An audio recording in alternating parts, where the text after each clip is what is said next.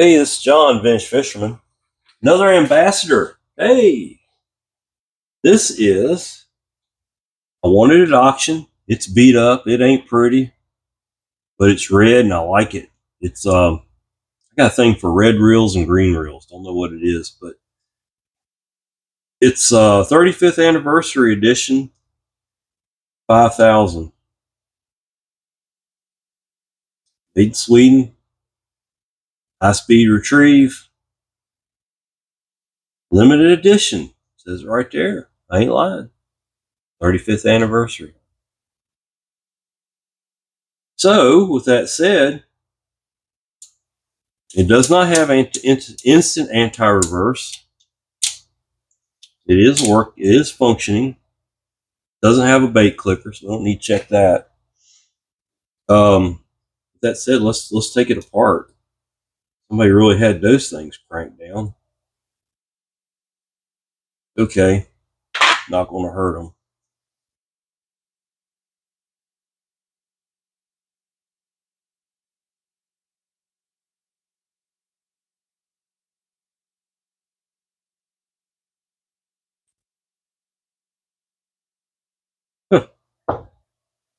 been recently old.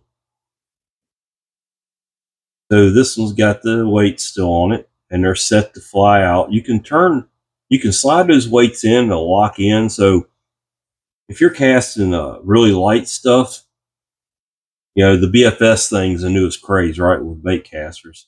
You can slide these weights all the way in, one or two, depending on how, how much weight you're throwing and you won't have a centrifugal force of those uh, those flyweights working against you. So this thing is a oh wow, this is kind of cool. It's a 1984, so it's March March of 84.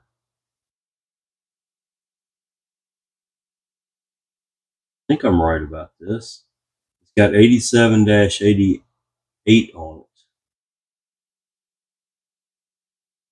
Okay.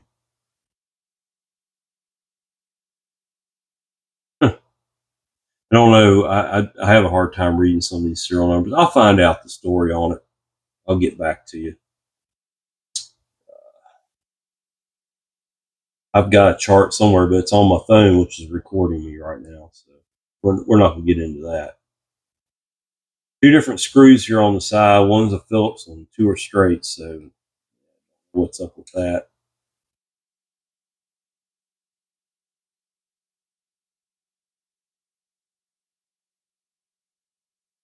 At some point somebody lost a screw and had to replace it. To be a really simple reel because there is no there is no bait clicker on this side.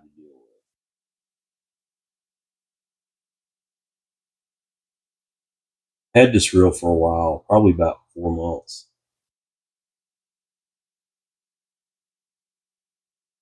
Just love these old things. A real thing for these ambassadors. I like the left-hander. I use the left-handers. I collect the left-handers. But uh, I like the I like any of them really. So this one has a snap ring. We're gonna somebody's kept it pretty well lubricated, not to. It's whoever whoever owned this reel before me definitely uh took good care of it. There's a bushing in there, and the best way to get it out is take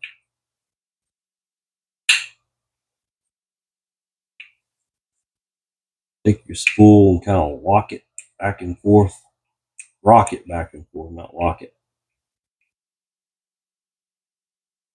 May not come out. Don't bend the don't bend the shaft on the spool. Just kind of keep working it back and forth, and it will eventually it will eventually pop that. Ah, That's coming.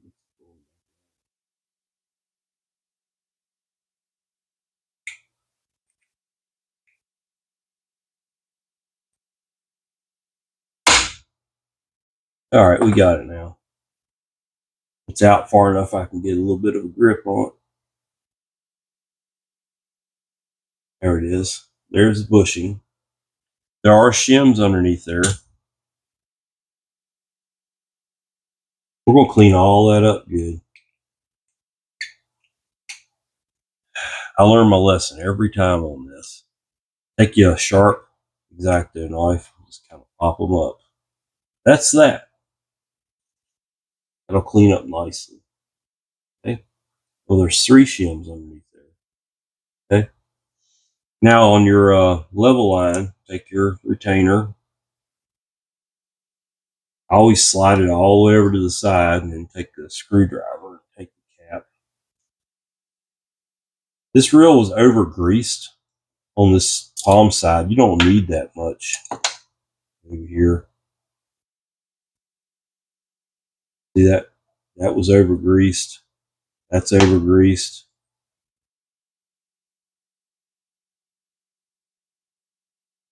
There's all those parts. You can flip this plate up.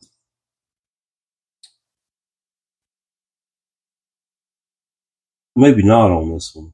I'll leave it alone because I don't want to mess. That's the biggest, that's the greatest thing about the reels. I don't want to mess that up. Okay, we're good there. Let's take the business end apart here. You got the retainer on, on this uh, handle. Comes off. Retaining nut.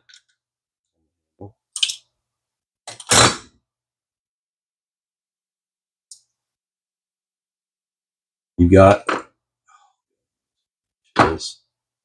you got snap ring.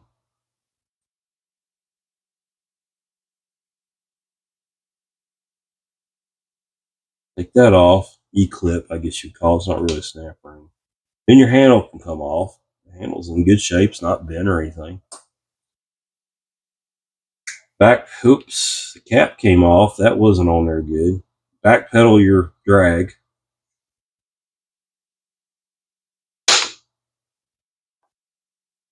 Get into that in just a second. So your cap has shims in it. I think there's probably just one that needs to be cleaned up good. I just see one in there. You've got a bushing. We'll get to that in a second. Let's go ahead and take these two screws off.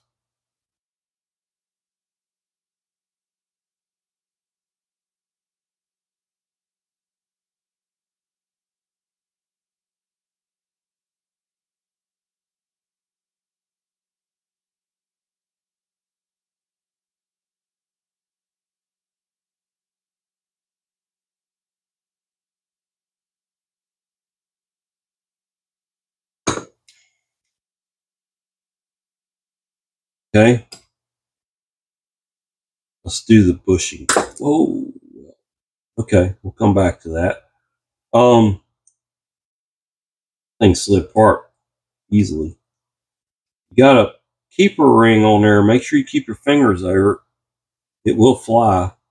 Then your bushing just slides out. Your bushing just slides out. I like when things don't want to cooperate when I say, oh, it just does this. There you go. So all this fell out. It's your prototypical setup, okay? I don't do a whole lot with any of this, but I'll show you what I do to it. First thing off is the anti-reverse dog. And you've got the plastic handle bushing. This was actually together wrong. It was supposed to go, get the shim and then the plate, then the concave. This one's going to have more of your normal drag setup on it. You got a press plate.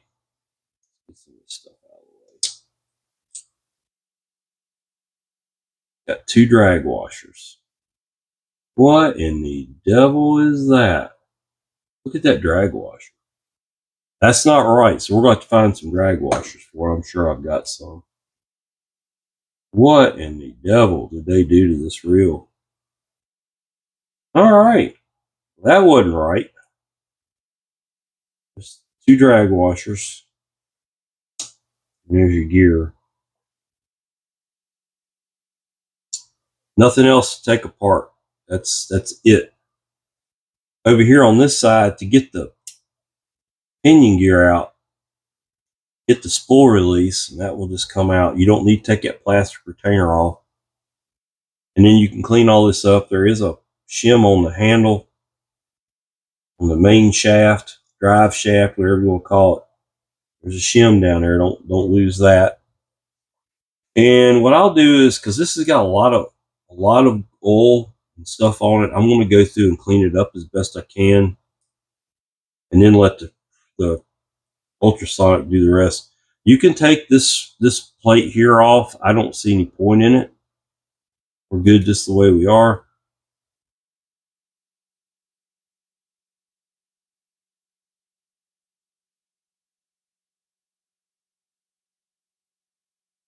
So far, not in bad shape.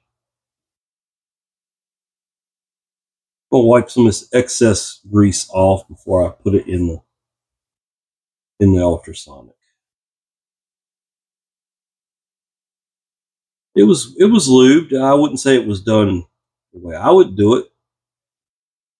It was done. Better than none.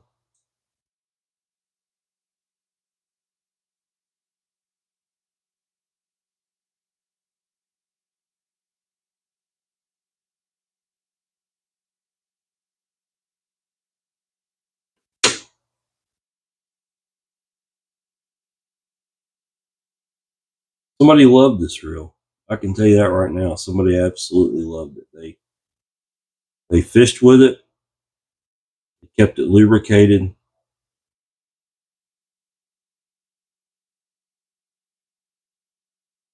They probably caught a lot of fish on it. That's cool. That's what we're that's what that's what it's all about. It's not about sitting here at a desk working on them. It's about getting out there and fishing with them, which I don't do enough of here lately.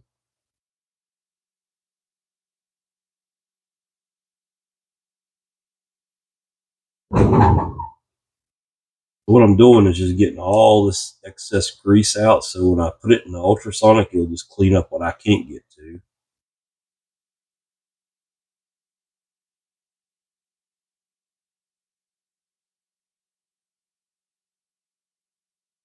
A big chunk of grease right there.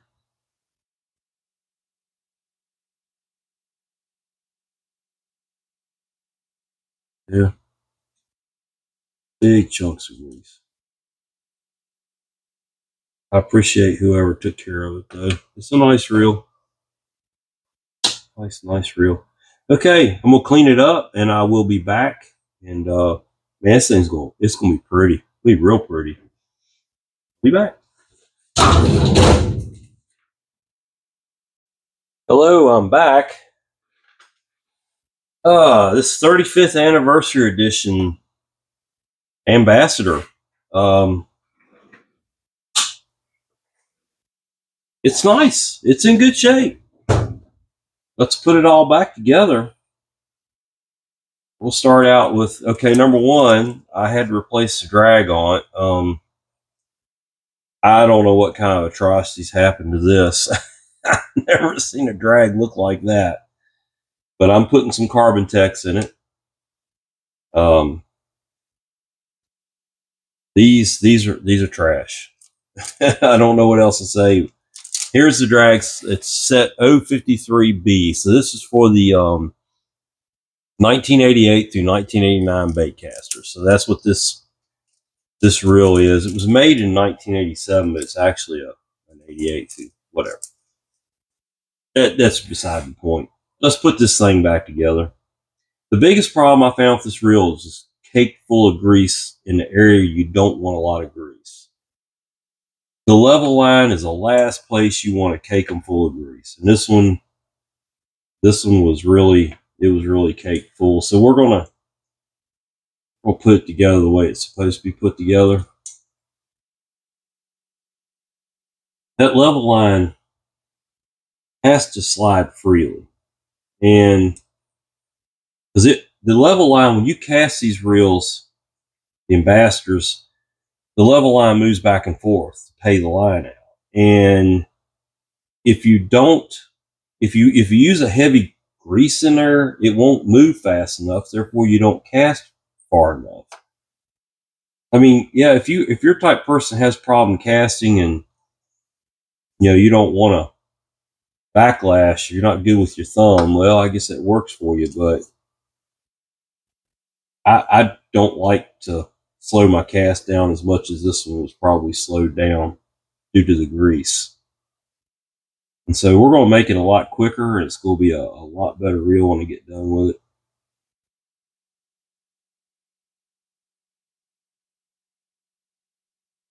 Uh, there again, when you put that level line pawl in there, just kind of crank it around and it will, it will find its way to where it needs to be. Oil and good fast oil like this dad's old tackle TSI 321. That's a darn good oil. Little dab of grease with the threads are on this cap. You're going to see this reel is going to be smooth and fast.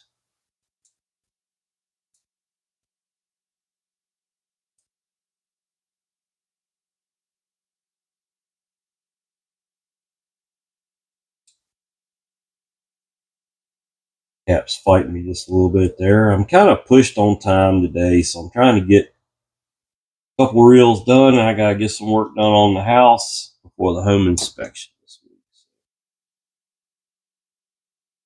Sold a house, you know where I'm talking about. All right, so that is slicking that right on up. Okay. Look at that. Just like that. No bearings in that. It's just bushings. But man, I sped it up fast, didn't I? All right. We got three of the shims in here. We're going to put them in one at a time. I put them in, a little drop of oil, put one in, a little drop of oil, put one in, another drop of oil, then your bushing. Bushing's got a tab on it that lines up that groove cut in the housing. There's no retainer on it. Fill it full of oil. Good stuff. Good oil. Don't don't use the cheap stuff. Use the good oil.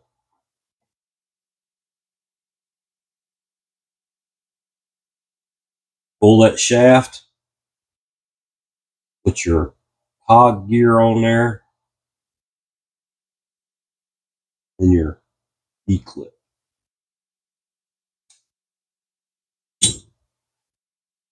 You can put a little dab of oil on the teeth. This, look how fast that's spinning. Okay, and then we're ready to put the palm plate on.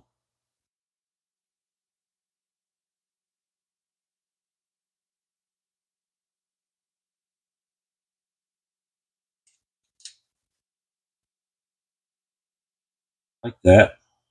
Three screws. This one had one oddball screw to it. But at some point, somebody had changed out screw. I guess they were they had a part and lost the damn screw to it. I don't know.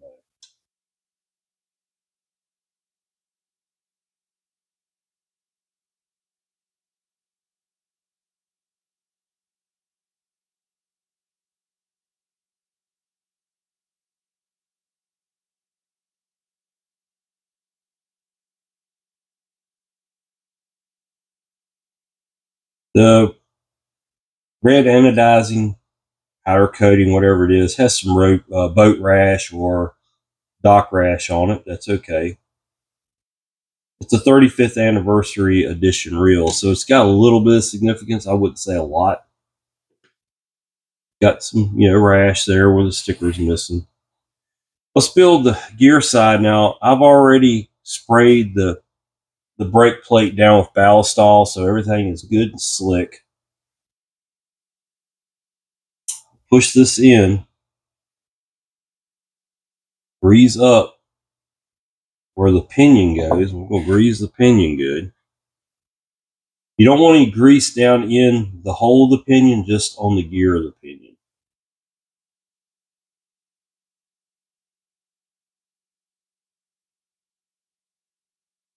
And it's got that little horseshoe looking bushing, plastic bushing goes towards the thumb release.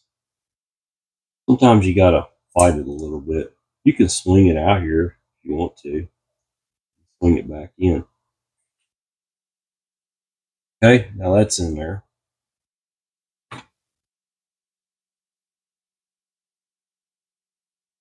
Shim that goes on.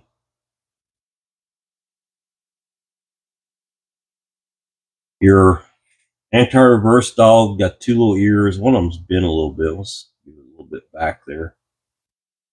You don't want to put any oil or grease on this plate where this anti-reverse dog rides. You want it to, you want just kind of, you want friction to, to be able to do its job there. So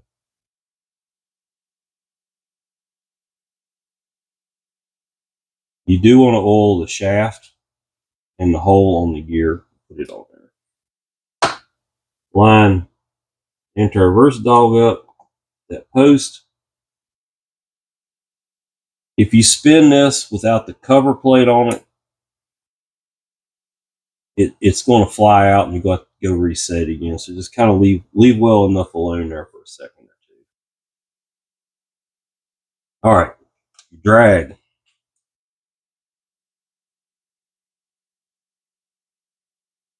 You don't have to use Cal's grease on these car Carbon-Tex, but I do. I use it on everything I build. Goes the, the ring washer goes towards the, the brake plate. We'll go ahead and put some grease on that gear. It'll work itself in, so just give it a little little coating around it.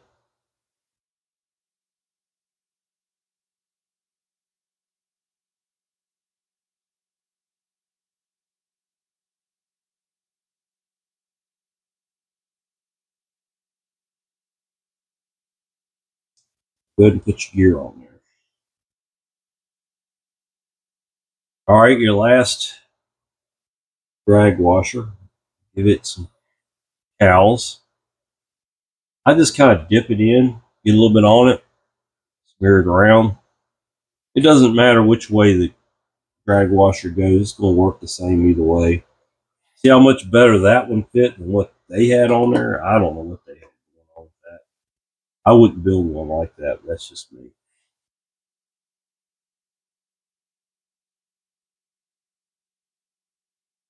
Press plate. Concave washer. Looks like a taco.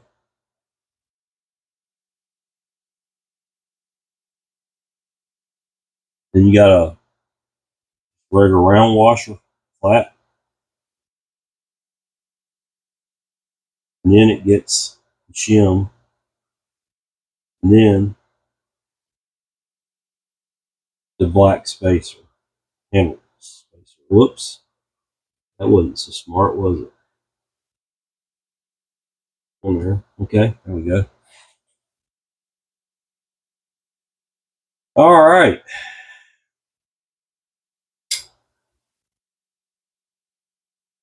Over here, you got a bushing. Got the little tab on it goes in that little groove, slides in there. You do have a retainer. Hang on to this thing it goes flying. Good luck finding one. Goes on there like that. The cap, put your shim in there. A dab of oil. I always give this a little grease. It's good for that O-ring right there. The O-ring is there to seal it and to give you some tension on that knob. Once you get in there a certain distance, it engages that O-ring and it keeps that knob from spinning on you so you don't mess up your uh, precast setting on it. A little bit of grease in these two holes. The cover screws go on. You can go ahead and put the cover on it.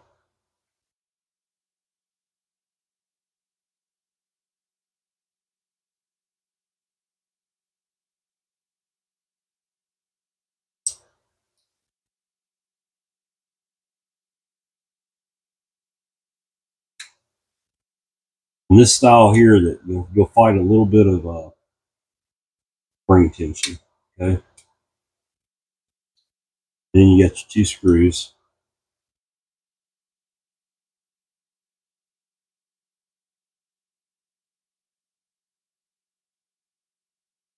We'll use a Harbor Freight precision screwdriver.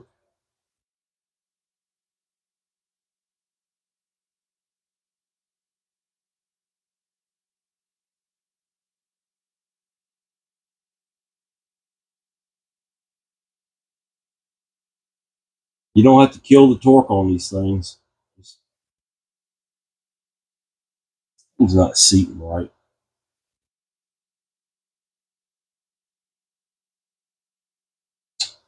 Okay, what is going on here?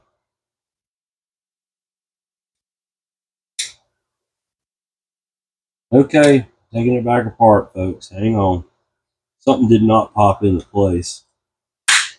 Ah, there it went. Ow!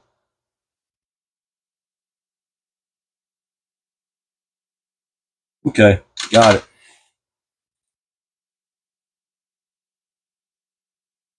Your handle, really not much to it. We're about done with this thing. A little bit of grease. Thread your drag on. This is a right hand reel, so we're right hand threads.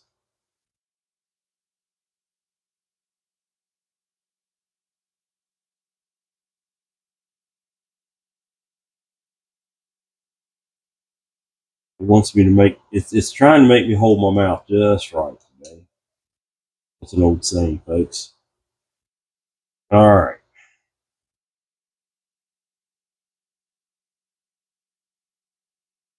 Got that. Put your handle on. Snap ring. Don't forget the snap ring. That's what retains the handle. Sure it clicks in all the way. Handle retaining nut on.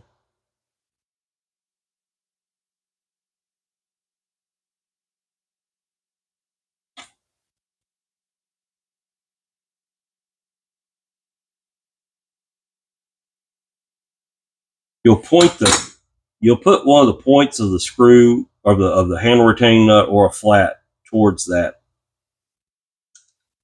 it should line up just right, just like it did. Towards that hole there.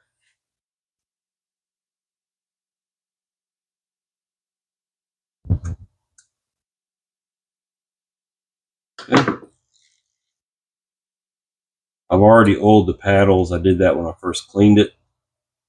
Next step is to line the we're going we're going to oil shaft, little oil on that bearing, little oil on that shaft.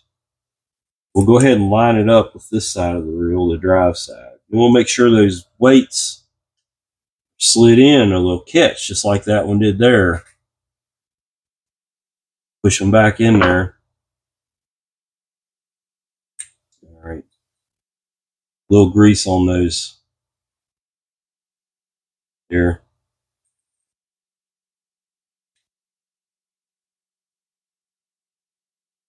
嗯。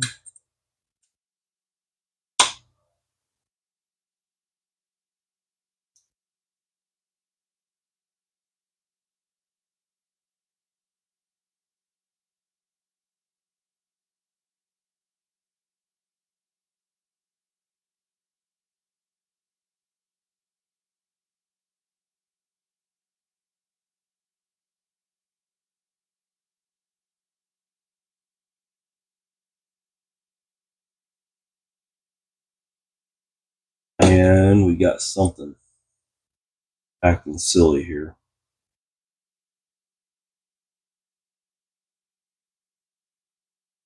We get you want to get that spool tension set where it's got some side to slide, side to side motion on the spool. Got the drag set. Always, whenever you put a drag in, hold the spool, crank into it, crank it down a little bit, slip that drag some, set it in there. I'll get all nice and tight. Get the drag stack tight. It'll free the reel up.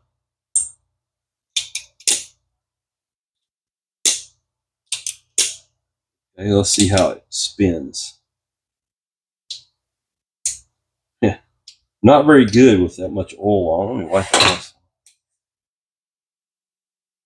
Got so much oil and grease on, I can't get my thumb to turn it very good.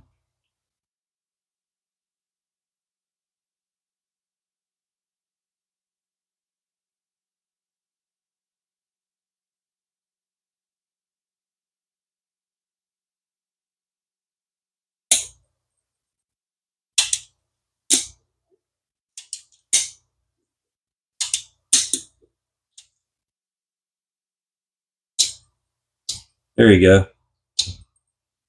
That's not bad. That's a bushing reel. There's no bearings in that. Look at that. If I had a little line on there, like 12 pound line, with all the inertia from the weight of the line, it would really be spinning good. That's that's a nice reel. I'm happy with that. It's going on my shelf. 35th anniversary edition. I don't know if you can see it there or not. Special edition, 35th anniversary. Hey, is it worth anything? Probably not. I like it though. This is John Vintage Fisherman. Uh, welcome back to the Abu Garcia Ambassadeur channel. Just kidding. I mean, I, I, like all reels, but I really love the Ambassadeurs. I, I, love Penn reels. I got a thing for Squidders. I got a thing for Jigmasters. I love internationals. But man, these Ambassadeurs, they're just so cool. So many upgrades you can do to them. I literally could take that reel there and and turn into a BFS reel, no problem at all. It would fish so good. You can put bearings in where those bushings were. I started to do that. And I thought, no, it's just going to sit on the shelf. I'm not going to waste good money on, on bearings that are just going to sit there. So anyway, it's John Vintage Fisherman. Please like the, the video and subscribe to my channel. Uh, I like to help people out. I've had a couple of really good comments this week of some folks I was able to help them get their reel back together by watching my videos. And uh, that's always good. That's gratifying to me. Um, that's how this channel got started. Thanks for watching.